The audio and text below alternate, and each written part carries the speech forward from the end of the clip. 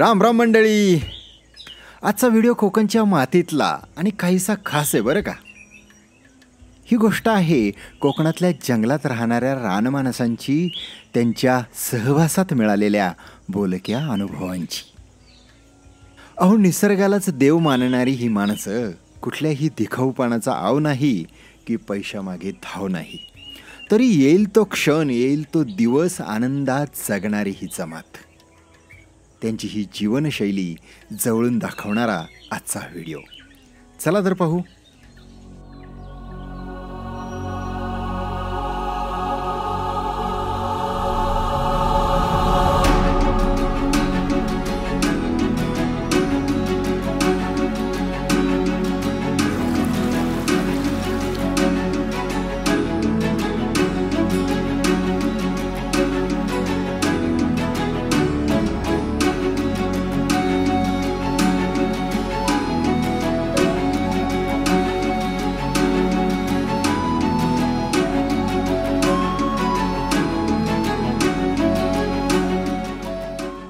घाटातल्या या गर्द जंगलात डोंगराच्या पोटात पिढ्यानं पिढ्या मसाल्याची पारंपरिक शेती करणारी ही वाघेरीवाडी. मग या डोंगराच्या दरीतून खळखळ वाहणारे झरे कसदार भाताची खाचरं कुळागरं माड सुपारींची गगनभेदी गर्दी आणि या सर्वांच्यात हरवून बसलेली कौलारू घरं आणि त्यातली आनंदी गोड माणसं. इथल्या मांगरामध्ये आम्ही राहिलो कुळागरांमध्ये फिरलो. अस्सल कोकणी ग्रामीण चवींचा तर असा आस्वाद घेतला म्हणून सांगू. इथली शेती जंगलं नद्या पाणी व्यवस्था कुलाचार यांच्यावर यथेच्छ गप्पा मारल्या. या मांगरमध्ये राहून या रानमाणसांच्या सहवासाचा परिस्पर्श आम्हाला लाभला आणि सरते शेवटी मनात एखादा प्रकाशाचा झोत विचारांची मालिका लख करून जातो. तसा हा अनुभव समृद्ध करून गेला. चला तर तुम्हालाही या परिसराची सफर करवतो.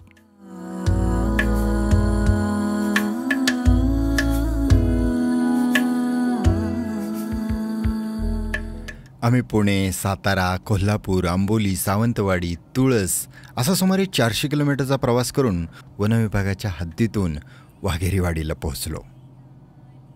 इथे जाण्यासाठी मी गुगल मॅपची लिंक तुम्हाला व्हिडिओच्या डिस्क्रिप्शनमध्ये देत आहे.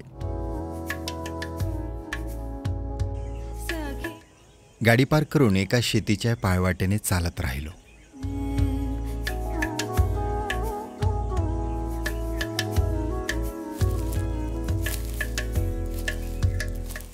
पाच मिनिटं झाडीतून चालत माथ्यावरच्या मांगरात पोहोचलो.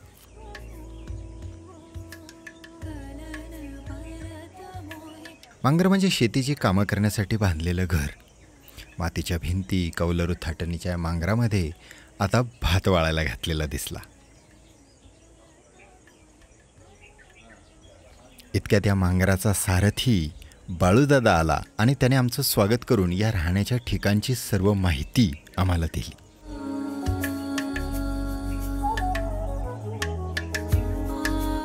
ह्याच मांगरात पर्यटकांच्या राहण्याची व्यवस्था केली जाते. इथे मागच्याच बाजूला बाळूदादाचं घर आहे. तिथे जेवणाची व्यवस्था केली जाते.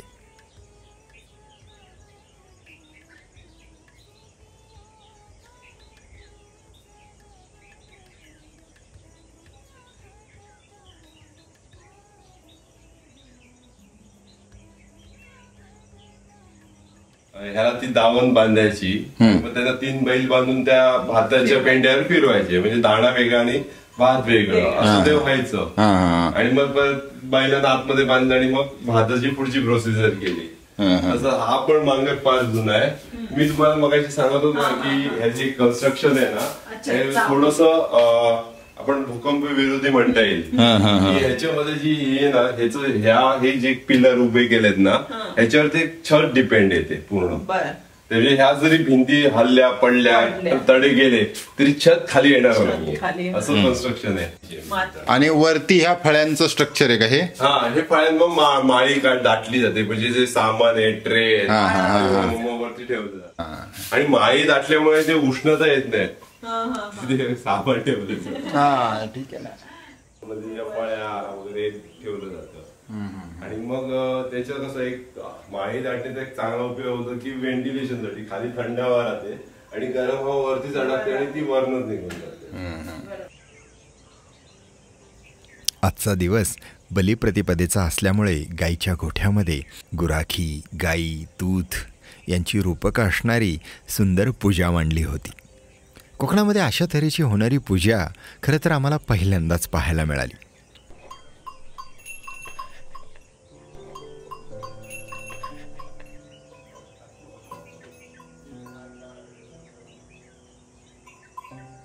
मग काय?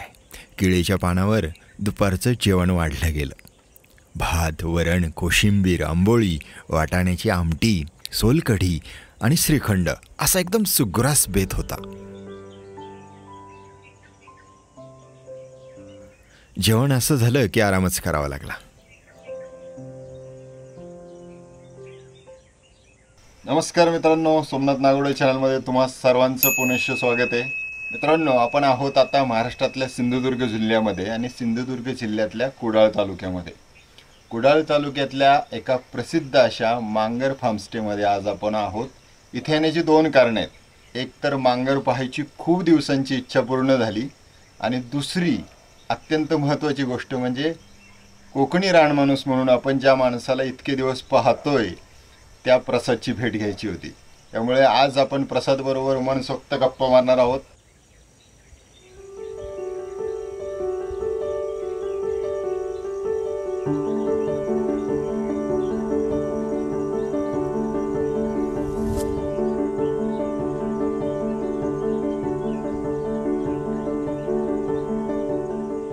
आता ऊन उतरलं तसं बाळूदादा आम्हाला शेताची शिवार फेरी करायला घेऊन निघाला.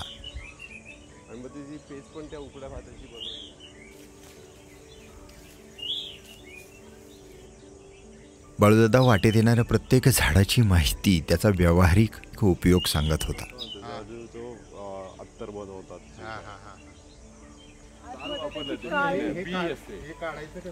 त्याचं वरती काढायचं आणि गो- लांब गडकं असतात, ते तोडून तोडून काढायचं. अवघडच आहे काढणं.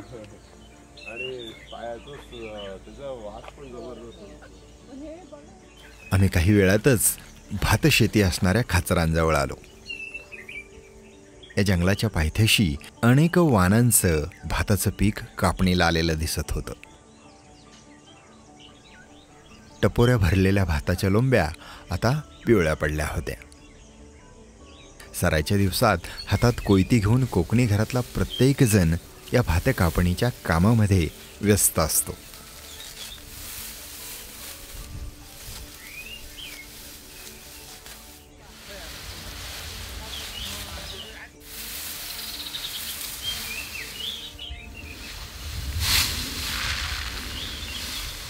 जंगली प्राणी पक्ष्यांच्या माऱ्यातून वाचवण्यासाठी शेतकरी त्याची राखण करत असतो.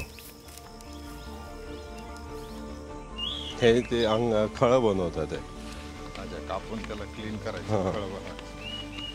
याने ठोकलं ना की प्लेन होणार. तिकडे कुठे खळी बनवण्याचं काम सुरू होतं तर कुठे खळी बनवून सारवूनही झालं होतं.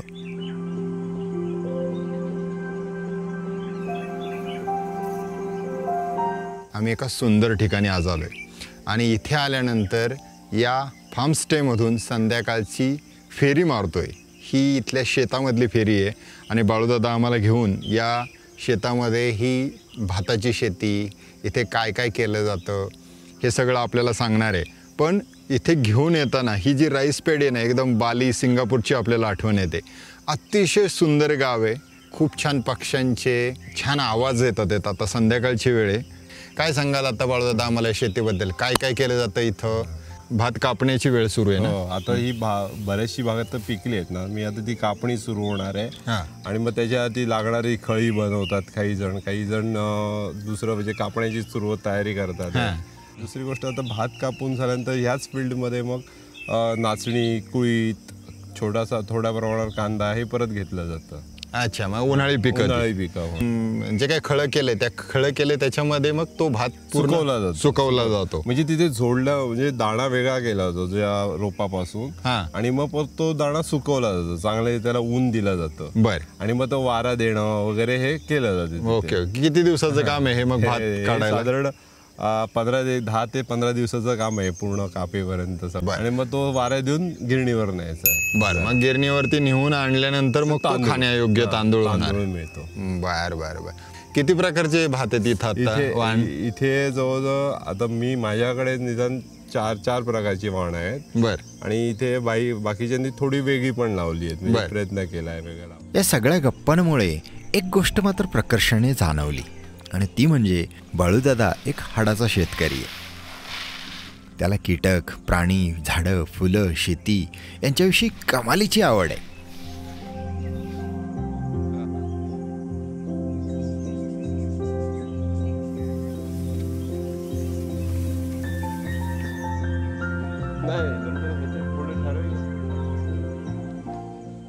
ही सर्व शेतं पिकं त्यांची मशागत करणारे शेतकरी पाहून आम्ही डोंगरातल्या ओहळाजवळ आलो तेव्हा अंधार पडला होता.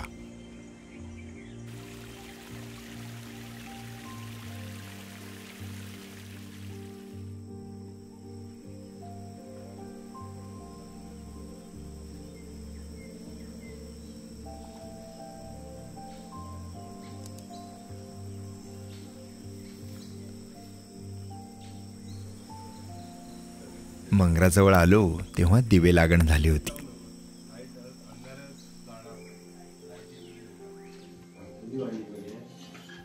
नाचणीची भाकरी आणि गावठी चिकनने आजच्या दिवसाचा समारोप केला. झोपी गेलो.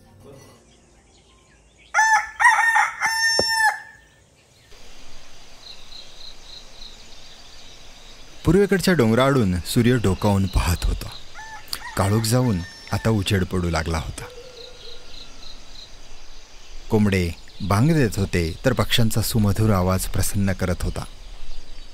फुलं टवटवीत झाली होती फुलपाखरं बागडायला लागली होती तर गुरांच्या गळ्यातल्या घंटांचा आवाज येत होता. ही सूर्यकिरणं या जमिनीवर येण्यासाठी धडपडत होती प्रत्येक सजीवाला जणू नवचैतन्य देणाऱ्या सूर्यकिरणांनी सृष्टी नाहून निघाली होती.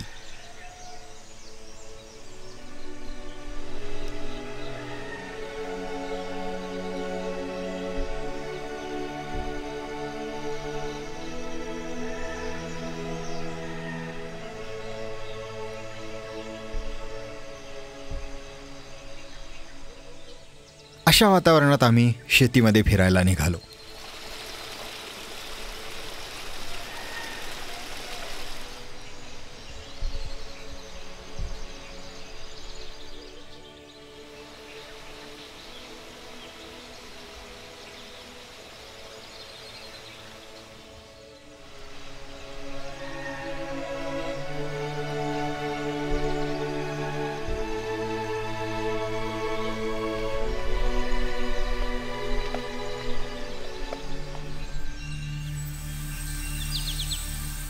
मांगरासमोरच्या या बाळूदादाच्या बागेत घरातल्या चुलीचा धूर आणि सूर्यकिरणं यांच्या भेटीने एखाद्या हॉलिवूड चित्रपटाचा सीन तयार व्हावा असं काहीतरी चित्र तयार झालं होतं. तिथे आम्ही मस्त फोटोग्राफी केली.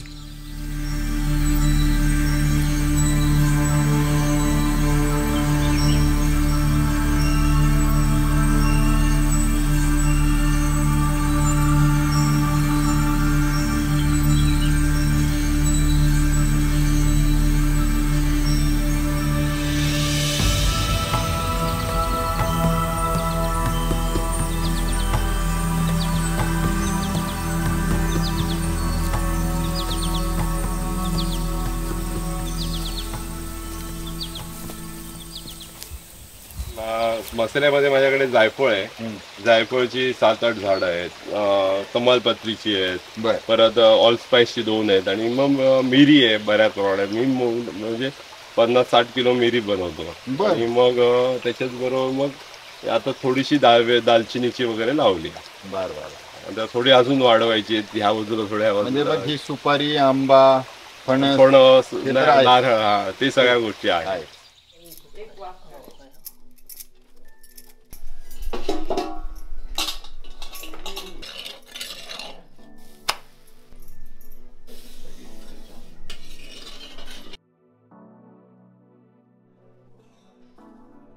मस्त नाश्ता केला. भाकरी चटणी नाश्त्याला या.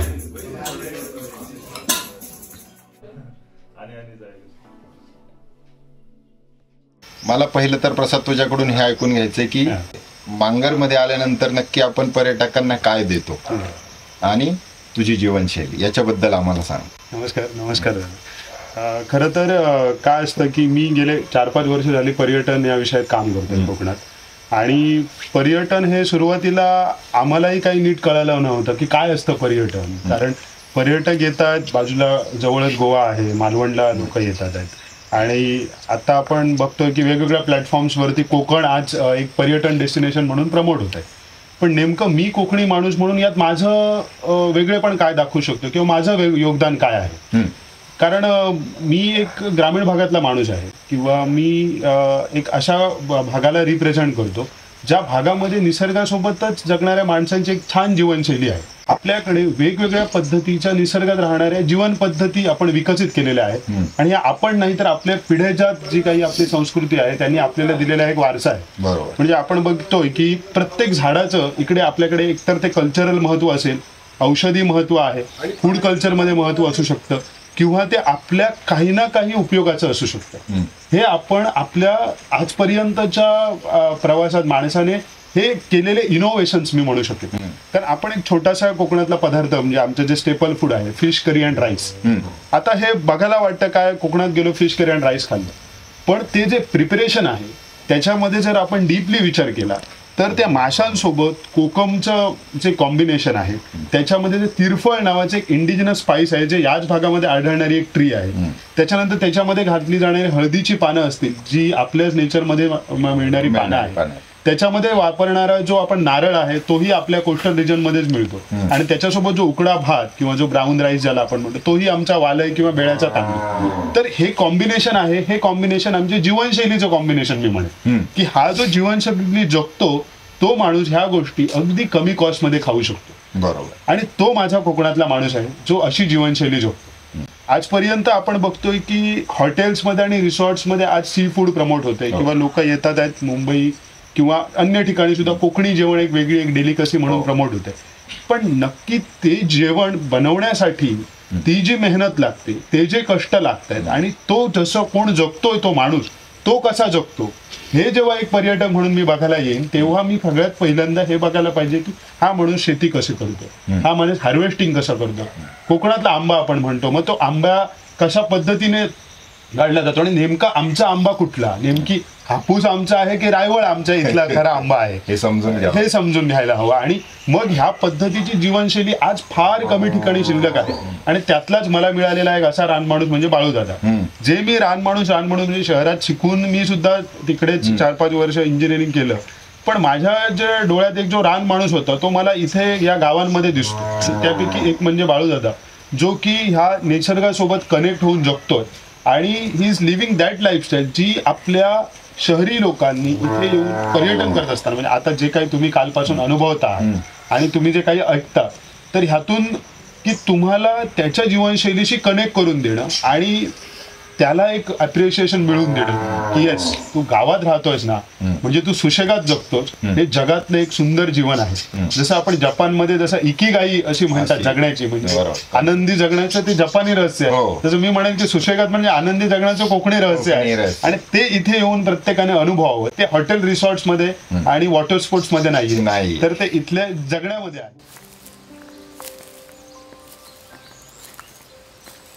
पुन्हा या बागायती शेतीमध्ये जाऊन त्या शेतीची आणखी माहिती घेतली.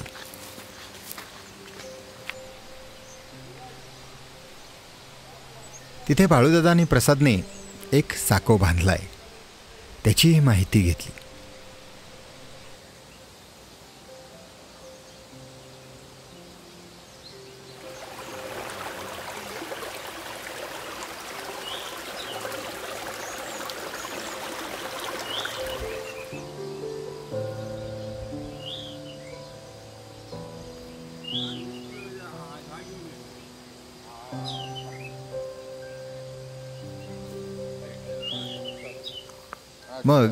इथल्याच गावातला एक चपळ मुलगा उंचच उंच झाडांवरती चढून माड सुपारी काढायला आल्याचं कळलं. मग त्याचं हे कौशल्य पाहायला मिळेल म्हणून आम्ही तिकडे पाहायला गेलो.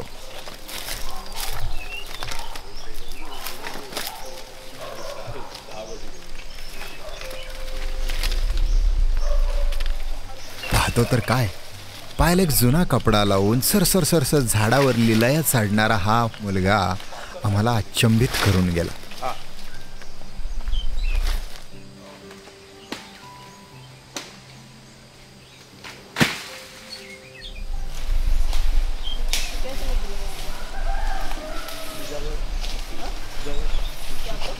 त्याचं हे कौशल्य पाहून मी तर आवाकच झालो.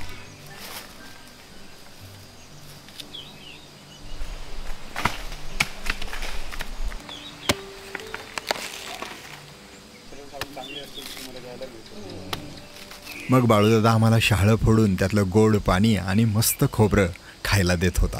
स्पेसिफिक हायब्रिड व्हरायटीज हे तसे विकसितच केलेत ना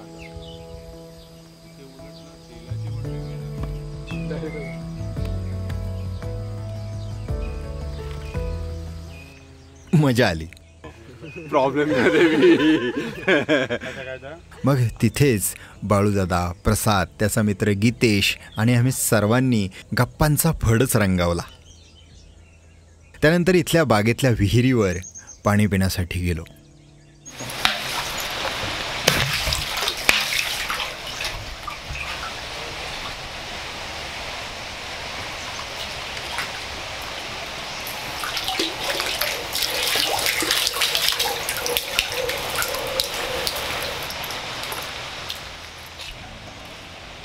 खूप स्वच्छ पाणी आहे पहा.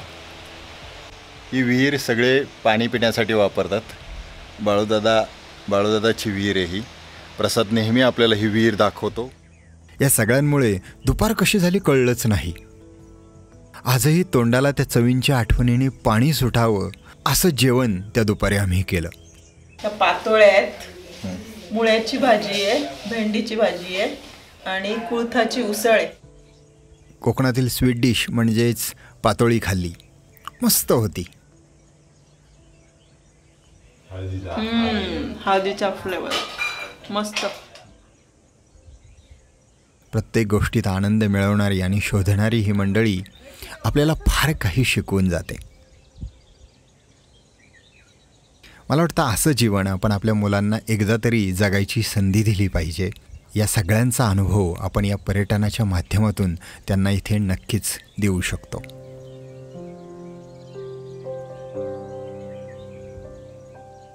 हा आनंद मला नाही वाटत पैशामध्ये मोजता येईल आणि कुठल्या याच्यामध्ये मोजता येईल. सो हा एक्सपिरियन्स करण्याच्या गोष्टी आहेत आणि अशा प्रकारचा एक्सपिरियन्स जर तुम्हाला घ्यायचा असेल अशा प्रकारचा एक्सपिरियन्स घेऊन जर तुम्हाला श्रीमंत व्हायचं असेल तुम्हाला भेट घ्यावी लागेल आणि ती भेट घेण्यासाठी तुम्हाला या ठिकाणी यावं लागेल. असेच विचार असंच त्याचं जे काही पर्यटन आहे ते जोरात बहरू दे असे मी या चॅनलच्या निमित्ताने या ठिकाणी इच्छा व्यक्त करतो आणि इथेच थांबतो. प्रसाद तुझ्या संपूर्ण कार्यासाठी भरपूर माझ्या चॅनलतर्फे माझ्या कुटुंबियांतर्फे शुभेच्छा. असंच तुझं काम जोरात चालू राहू दे. खूप खूप धन्यवाद. आणि तुम्ही कोकणासाठी तुम्ही बाहेर येऊन खूप काही करताय.